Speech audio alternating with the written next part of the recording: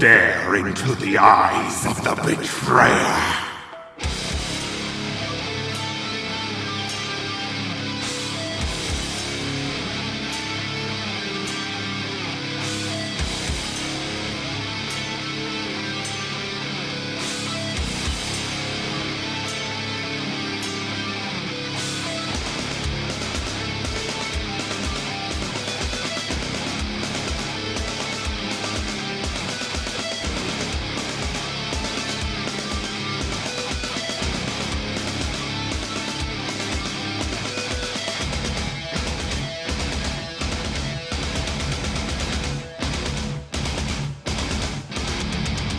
Feel the hatred of 10,000 years.